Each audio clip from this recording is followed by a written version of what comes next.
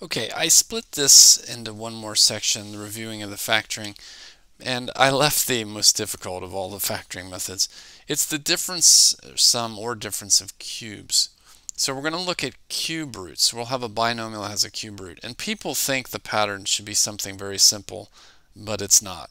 And so let me talk you through by looking at one of these. Now, we saw before that we would have something like this, where we said, okay, I see square roots on the front and the back. So I'm going to write those square roots twice. Now it's a negative in the middle, and there's, there's so there's no middle uh, no middle term, so it was opposite sides. So I checked for square roots on the front and the back. Well, what if we checked for cube roots? So I have cube roots here. What is the cube root of yeah, 8? okay, I didn't know that, 512. I have cube roots here, okay? So I'm going to write what those cube roots are. And I'm going to call them A and B because it's going to fit a pattern here. So I have cube roots, so I have to factor the, the sum or difference. This is the sum of cube roots. Now, this is unfortunately the only way to do it. You have to memorize this. There's no other way. I wish there was. And so this is the least remembered one, but if you're really a strong math student or planning on going on to calculus, you really should have this one down. It does come up quite a bit. So if I were factoring this, I'm going to again write down my cube root of the front is my A. The cube root of the back is going to be B. Now this pattern I have memorized and I'm going to make the A, I'm going to fill everything in here to this pattern. So what I mean is A was X, B was 8. So A squared would be X squared. AB is A times B. I'm going to write it as 8x. Doesn't matter the way you write that. 8 squared. So B squared, 64. Okay, now what about the signs here? Well, you can memorize two versions of this formula, or you can just remember this. It's called SOAP. It means same, opposite, always positive. So what does that mean? Okay, well, same means it's the same as what you started with. Our first sign is going to be a positive because what we started with is, was a positive. So same, then it's opposite, then it's always positive. Okay. Uh, what is the cube root of 216? That's the hard thing.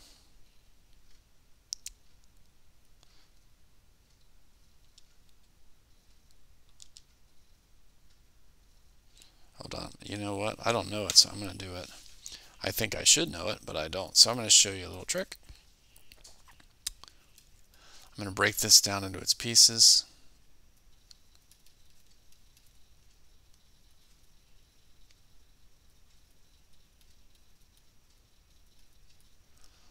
Okay, I don't know if I did this in our review for your class or not, but so 216 is made up of 2 times 2 times 2 times 3 times 3 times 3.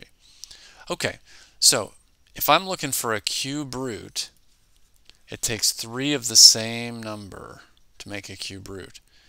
So 2 times 3, 6 is the cube root of 216, which I probably should have known, but I don't. Okay, so here's my point. it is really unfortunate. I'm going to rewrite this because that is really unfortunate that they did that. Oops. Okay, I didn't want them to use A and B because our pattern has the A and B and that would get very confusing. So A is going to be the cube root of the front. So the cube root of the front is 6x. The cube root of the back is going to be y.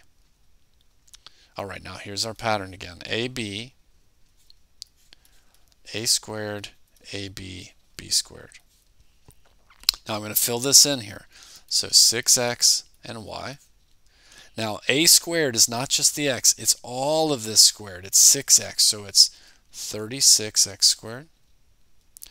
AB is the two times each other, so that'd be 6xy. And b squared would be this whole group, but in this case it's y squared.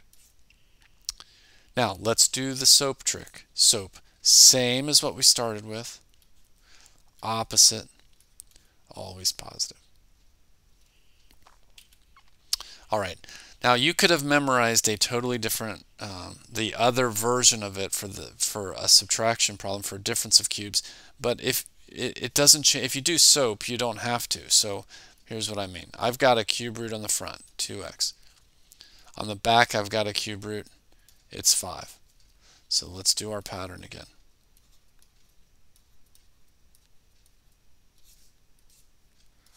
Okay, so a is the first entire term, so it's 2x. b is the 5. a squared is 4x squared. ab, we're going to multiply them together, I'd have 10x. b is 25.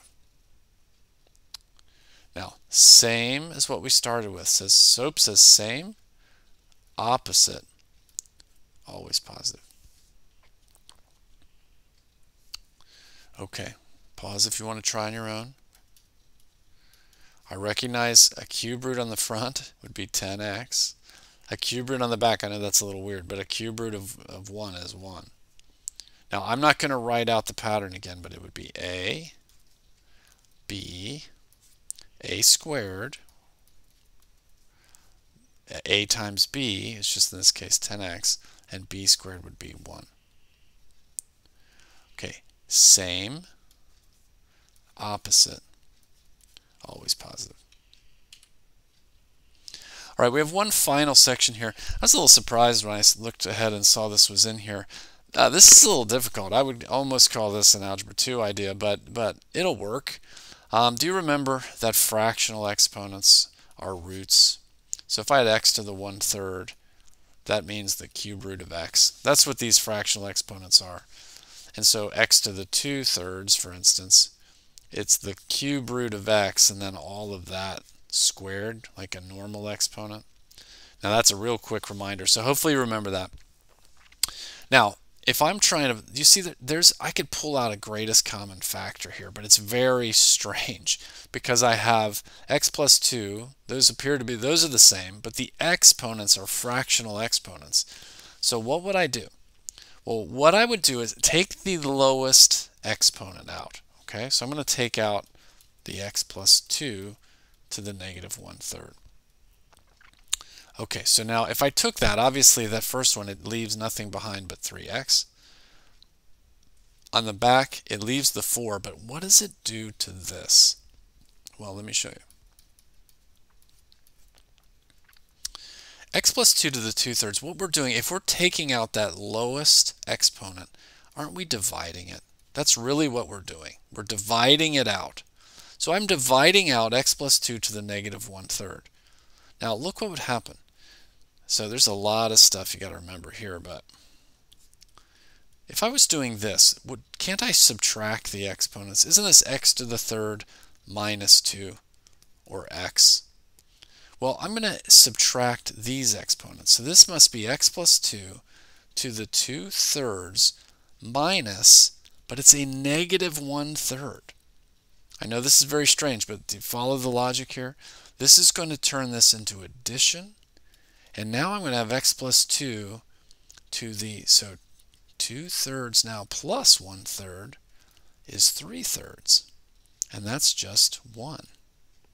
So by taking out the negative 1 third, I can pull it out front. I took the smaller one. But isn't that really just division? If I'm dividing it out of the second term, which allows me to subtract my exponents, which turns it into 3 over 3, or 1.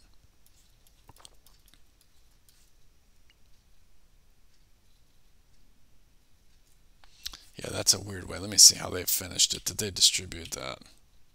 Yeah, they went ahead to distribute that. So, okay. So, so far this is what we've got. But there's some cleaning up that I could do in here, and I would get 3x plus 4x plus 8. Do you see I'm just cleaning, distributing that? So I could also, got a little more cleaning up I could do in there. That's 7x plus 8. Okay, difficult trick. I know this is unusual, but I'm taking out a GCF of 5a minus 1 to the negative 1 fourth. Now, it's easy to see what it would leave. It leaves the 2. Well, we started right away with this. So I'm dividing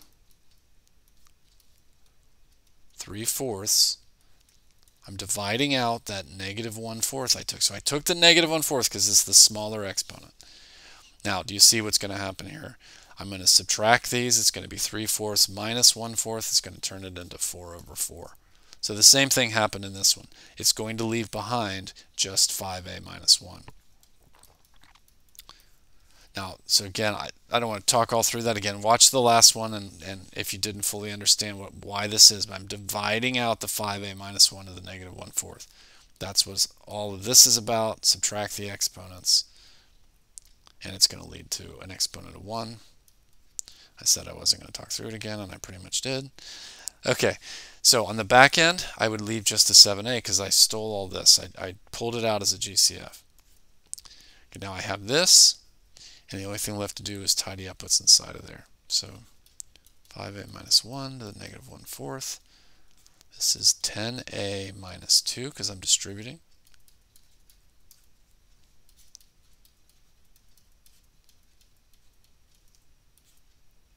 17a minus 2.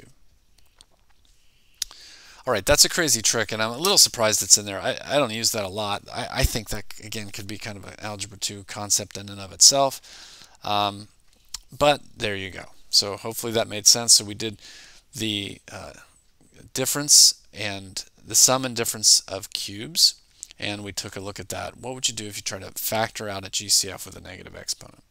Negative fractional exponent, for that matter.